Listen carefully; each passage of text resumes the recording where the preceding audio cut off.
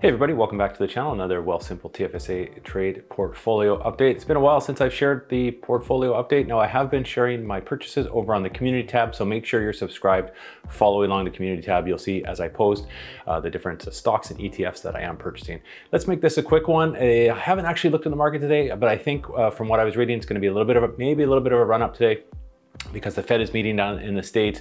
We're probably, I think, priced in with a 75 basis point uh, rate increase down for the United States. Uh, we'll see what happens in Canada going forward next month. Let's just jump straight in the portfolio and see how we're doing. Right, here we are in the TFSA using the Wealthsimple app as usual. We're down, uh, not a good start to the month. Obviously, we're seeing down 4.87% of the month. Let's just go through and just do a once once over. We'll come back to see how the portfolio is doing today and how it's doing, been doing in the long term. Uh, we do have a little bit available to trade. There's been some dividends that come through. Just letting that sit there.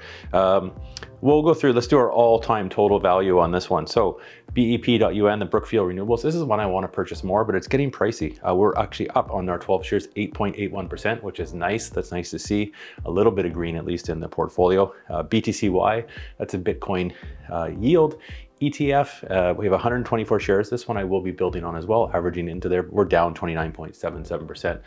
Uh, happy with the dividends on there. They're still kind of flowing through. And I think a long-term hold for this one, I am quite optimistic. Uh, CMC, we're writing this one off. This one, 94.75% down. That is basically, we're worth uh, $10, down 176. It's not even worth selling at this point. We're just gonna ride that one out and see what happens. Uh, ETC, this is the Bitcoin and Ethereum ETF. Uh, I still will be averaging to that just to have a position, a little bit of position in Ethereum, but uh, the main focus for my portfolio going forward is going to be BTCY. Uh, we are down, unfortunately, that one. Uh, Greenlane Renewables, 100, uh, sorry, we have a thousand shares of that 100, uh, down 38.3%. This is our long-term long-term hold on this one. Optimistic with that, with this company as well. and I'll still be adding into that one slowly, but not going to be the focus for the next little bit. I will get into the, the couple of ETFs that are going to be a focus focus. Uh, rei.un 25 shares, that's the RioCan Real Estate Investment Trust. We'll be adding to that one as well, but we're just down 5.37%. I think that's okay considering what the market has been doing. Uh, RNW, this one just can't catch a break, down 15. They're moving again, down 15.79%. 40 shares in that. The dividends are good though. They've been regular dividends. Dividends haven't changed, so I will still be averaging, averaging into this one as well. Uh, my portfolio has quite a bit of renewable uh, energy stocks in there, so I think uh, long term, I am optimistic for that. Uh, Solar Alliance Energy, this one is down 35.14%, 810 shares. That being said, they just got a new contract I read yesterday in the news for a small contract with the US uh, military. So maybe they'll pick up some more of those contracts and that could be quite lucrative for this one. We'll see how that uh, how that one pans out. Uh, 810 shares, $85.05. It's okay. This is These are just kind of fun fun plays on that one. Uh, Slate Office REIT, 106 shares. We're down 12.68%. Still regular monthly dividends on that. We'll be adding to this position as well.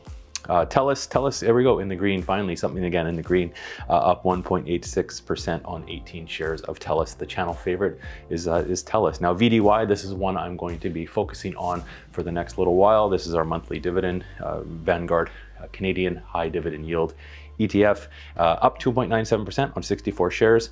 Uh, we'll be adding to that one when I do my next deposit. Uh, keep an eye on the community tab for that. I'll make a little post once that uh, does get purchased. Uh, last one, VFV, that's a Vanguard S&P 500 index ETF, down 5.84%. As you see, the market's open here, so we're changing on stuff here. Uh, that one will be dollar cost averaging into, nothing to uh, just to kind of set that one. That's again, long-term, all every all the positions and stocks, ETFs, everything in my portfolio is for long-term, 10 years out, thinking retirement. So not too worried about necessarily daily fluctuations. That's why we can kind of almost slow down a little bit on the updates. We're seeing, seeing it happen, but uh, it's, um, it's it's it's a rough time out there, obviously, but uh, we'll we'll we'll get through it.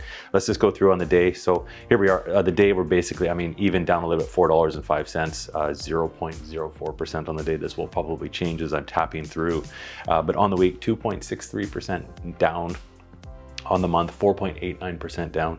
And this is where it gets kind of, oh, well, actually we're doing okay on the past three months, up 1.52%. But if we look in the past year, we're gonna be down 14%. Uh, that's something that's hard to, uh, hard to look at. But again, long-term investment and not investing anything that uh, I need to access in the short term. So we're just gonna hold these, all our positions. We're down 14.02%. Uh, I think considering the positions that I do hold, a lot of riskier uh, investments in this, um, in my TFSA, uh, I think we're doing okay, not too worried about that. Uh, let me know down in the comments below. It's always appreciated how everybody else's portfolio is doing. Alrighty, just a quick update. Now, before we go, I just want to thank everybody that has subscribed and following on the channel. We are almost at a thousand subscribers, so that's pretty awesome. When I started this channel, the goal was to get to a thousand subscribers, which is great. Uh, I do appreciate everybody that has been following along. Uh, posting your comments to the channel. Really, really appreciate it. Uh, sharing the sharing the uh, the videos on the channel to all your friends that might be interested would be great. If you could get us to a thousand subscribers, that would be awesome. We're so so so so close. Uh, thanks so much, everybody. Have a great rest of the week. We'll do another update later on in the week, uh, and until then, hopefully the market gets a little bit greener after this uh, the Fed announcement today. Thanks for watching. Have a great day.